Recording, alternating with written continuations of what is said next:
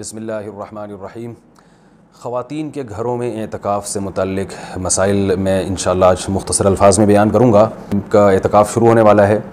तो ख्याल हुआ कि इस बारे में कुछ अहम मसाइल बयान कर दिए जाएँ। सबसे पहले तो ये बड़ा इख्तलाफी मसला चलता है कि ख़वातीन के लिए घर में एतकाफ़ करना जायज़ भी है या नहीं है। तो इस इख्तलाफ को भी मैं बहुत ही मुख्तसर अंदाज में बयान करूँगा।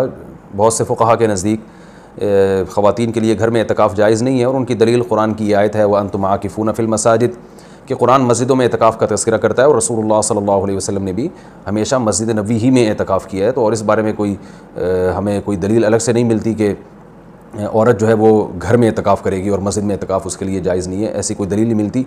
तो इस बेस पे बहुत से फ़ुहा इस तरफ़ गए हैं कि औरत के लिए घर में एतकाफ़ करना जायज़ नहीं है। और ये भी एक मज़बूत मज़हब है, इसको बिल्कुल कलदम करार देना ठीक नहीं है। लेकिन हनफिया इस तरफ़ गए हैं जो फ़ुहा हनफिया हैं, वो इस तरफ़ गए हैं कि औरत के लिए मस्जिद में एतकाफ़ अगर वो करेगी, हो तो जाएगा।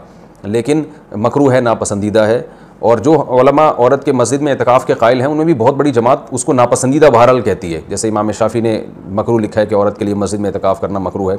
अरब के भी आज बहुत से इसके कायल हैं कि फ़ितने की वजह से औरत को मस्जिद में एतकाफ़ से रोका जाएगा। लेकिन घर में एतकाफ़ जायज़ भी है या नहीं है तो बहुत से फ़ुका इस तरफ़ गए हैं कि औरत घर में एतकाफ़ नहीं कर सकती। लेकिन हनफिया हनफिया, इमाम हनीफ़ा और उनके शागिर्द और आज तक फ़ुका हनफिया की यही राय है कि औरत घर में एतकाफ़ कर सकती है। और इसमें इख्तलाफ फ़ुका में इस वजह से हुआ कि दलाइल में इख्तलाफ है। सल्लल्लाहु अलैहि वसल्लम ने उम्महातुलमोमिनीन को हुक्म दिया था कि मस्जिद में जब उन्होंने नबी अलैहि वसल्लम के साथ एतकाफ़ के खेमे लगाए तो आपने उन खेमों को उखाड़ने का हुक्म दिया। उसके बाद हदीस में आता है कि नबी सल्लल्लाहु अलैहि वसल्लम की दुनिया से जाने के बाद उम्महातुलमोमिनीन हर साल एतकाफ़ किया करती थी। अब उसमें यह तशरी नहीं मिलती कि मस्जिद में करती थी या घर में करती थी। तो जो हजरात कहते हैं कि मस्जिद में एतकाफ़ करेगी, औरत घर में एतकाफ़ जायज़ ही नहीं है। वो कहते हैं कि मस्जिद में करती थी और दलील वही देते हैं कि भाई एतकाफ़ का महल तो कुरान से पता चलता है मस्जिद है। और जो जैसे हनफ़ी फ़ुहा वो इस तरफ़ गए हैं कि नहीं, वो घर में करती थी। उनकी दलील ये है कि नबी सल्लल्लाहु अलैहि वसल्लम ने जब मस्जिद में उनके खेमे उखाड़ दिए तो इस बात, फिर ये बईद है कि वो मस्जिद में एतकाफ़ करती हों, क्योंकि मस्जिद में बैठने को नबी ने नापसंद किया था। तो मेरा मकसद सिर्फ़ बताने का मकसद ये है कि क्योंकि इख्तलाफ और फ़िरकवारियत का दौर है ना तो कोई भी किसी दूसरे की दलील को ना सुनने के लिए तैयार, ना मानने के लिए तैयार। तो इस बारे में दोनों तरफ़ मज़बूत दलाइल है। इमाम शाफ़ी, इमाम अहमद इबन हम्बल और इमाम मालिक इस तरफ़ गए हैं कि औरत के लिए घर में एतकाफ़ जायज़ नहीं है। और मस्जिद में एतकाफ़ करना है या नहीं करना तो इस पर तो सबका इतफ़ाक़ है कि हो जाएगा।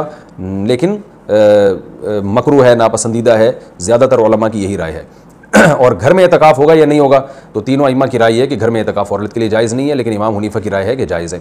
तो इख्तलाफी मसला है फ़ुहा में, और जब मुश्तदीन में किसी मसले में इख्तलाफ हो जाए और नसूस से हमें किसी एक तरफ़ यकीनी दलाइल मिल रहे हो तो उसमें अतदाल का रास्ता ही इख्तियार करना चाहिए।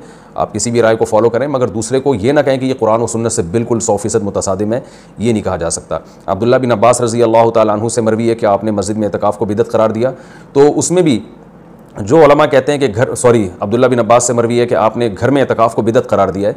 तो उसमें भी ये वाजे नहीं है कि औरत के लिए भी घर में एतकाफ़ को बिदत करार दिया, क्योंकि वजह उसकी ये थी कि बाज़ ताबीन औरत के लिए घर में एतकाफ़ को जायज़ समझते थे। तो आन मुमकिन है कि अब्दुल्ला बिन अब्बास का मकसद उन लोगों पर रद्द करना हो, कि जिन लोगों ने मर्दों के लिए घर में एतकाफ़ को जायज़ कर दिया, उनके अमल को बिदत करार दे रहे हो। बहरल मुख्तसर में जो खुलासा मेरी बहस का यही है कि दोनों तरफ़ दलाइल हैं और दोनों तरफ़ किसी भी राय को आप ऐसे नहीं कह सकते कि बस यही आयन कुरान और सुन्नत है और बाकी सरासर गुमराही है। किसी भी, की भी कोई राय हो, किसी की वो अपनी राय को बयान कर सकता है। तो हमारे यहाँ बर सग़ीर में चूँकि फ़िक हनफी को फॉलो किया जाता है तो इसलिए ख़वान मस्जिदों में सॉरी, घर में बहुत बड़ी तादाद में एतकाफ़ करती हैं। तो इसलिए मैंने सोचा कि मैं घर में जो ख़वान एहतिकाफ़ करेंगी, उनके मसाइल में बयान कर दूँ, क्योंकि बहुत ज़्यादा इस बारे में सवाल पूछे जाते हैं। जो ख़वान घर में एहतिकाफ़ करेंगी, वो घर में एक मखसूस कमरे को, जिसमें आम तौर पर वह नमाज़ पढ़ती हैं, वो ख़ास कर दें। क्योंकि बहुत सी खातन ये पूछती हैं कि हम पूरा घर ही अगर फ़र्ज़ कर लें एहतिकाफ़ में तो मैं उनसे कहता हूँ, फिर पूरा महल्ला ही फ़र्ज़ कर लें। तो इसमें क्या जा रहा है? तो ऐसा नहीं होता कि पूरा घर या पूरा महला एतकाफ़ का एक ख़ास मकसद हुआ करता है। वो मकसद पूरा घर को मुतन करने से हासिल नहीं होगा। तो एक मखसूस कमरा अपने लिए मुतन कर लें और वो कमरा जिसमें आम तौर पर वो नमाज़ पढ़ती हैं। फिर एतकाफ़ के मसाइल वही हैं कि एतकाफ़ की हालत में बिला ज़रूरत शदीदा उस जगह से बाहर नहीं जा सकती। जो इंसान के ज़रूरी हाजात हैं उनके लिए जा सकती हैं ख़ाय हाजत के लिए घर उस कमरे से बाहर निकल सकती हैं। खाना लेने के लिए, जैसे खाना पहुँचाने वाला कोई नहीं है तो खाना लेने के लिए भी जा सकती हैं।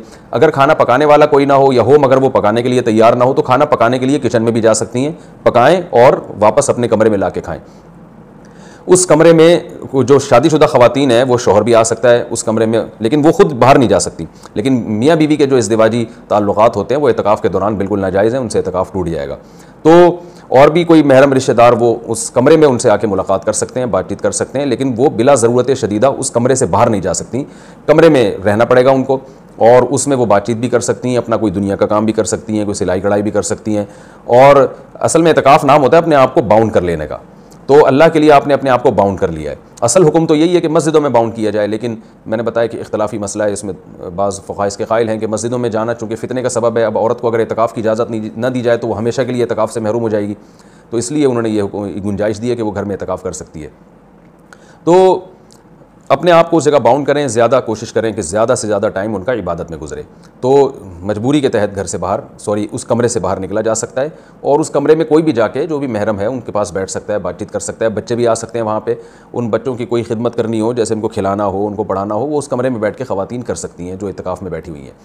अच्छा रोज़ा एतकाफ़ के साथ ज़रूरी है। अगर रोज़ा टूट गया तो एतकाफ़ भी टूट जाएगा। इसलिए जिन खवतिन को एतकाफ़ के अयाम में मैंसेज आ जाते हैं तो उनका रोज़ा भी टूटेगा साथ साथ एतकाफ़ भी टूट जाएगा। तो खवतिन जब दस दिन का एतकाफ़ करें तो इस बात का अहतमाम करें, उनको अपनी तारीखें मालूम हो और उनको ये इतमान हो कि इन दस दिनों में वो पाकि के अयाम में रहेंगी, उनको जो मैंसेज हैं वो जारी नहीं होंगे।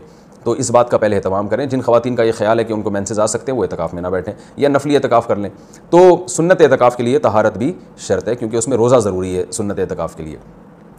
और खुशबू का इस्तेमाल कर सकती हैं उस दौरान, और, जो है वो किसी आलिम के बयान सुन सकती हैं, कोई दीनी क्लासेस ले सकती हैं, और उसमें जो है वो फ़ोन पे बात कर सकती हैं। तो ये तमाम चीज़ें जायज़ हैं, लेकिन एतकाफ़ का पूरा मकसद जब ही हासिल होगा जब इबादत ज़्यादा से ज़्यादा की जाए लिहाजा ख़वातीन जो भी घर में एतकाफ़ करेंगी, उनको इस अपना पूरी तरतीब और शेड्यूल बनाना चाहिए, सुबह शाम की तस्बीहात, तिलावत और ज़्यादा से ज़्यादा इबादत और ललतुल्क़दर का हसूल और गुनाहों से तोबा। रमज़ान का जो मकसद है एतकाफ़ का जो बुनियादी मकसद है, वो क्या है कि आपकी हालत चेंज हो जाए, आपको गुनाहों से तोबा की तोफ़ी मिल जाए। तो ये सब काम का अहतमाम करना चाहिए और मर्द जो मस्जिद में एतकाफ़ में बैठेंगे, उनके भी वही मसाइल हैं जो ख़वान के हैं कि मस्जिद से बाहर नहीं वो जा सकते। मस्जिद के अंदर अंदर रह के जो भी जायज़ काम है वो कर सकते हैं। उसमें अगर कोई अपनी पढ़ाई करना चाहें तो पढ़ाई भी कर सकते हैं। उसमें असल तो ये कि इबादत करें, जिसके लिए आप बैठें यहाँ पे। लेकिन जायज़ काम जितने भी हैं, जिस, जो मस्जिद के आदाब के ख़िलाफ़ ना हो, वो भी एतकाफ़ में किए जा सकते हैं। इसमें कोई हरज नहीं है। अल्लाह ताली से दुआ है कि अल्लाह ताली हम सबको समझने की, अमल करने की तोफ़ी अता फ़रमाए। वमालना इल्लबला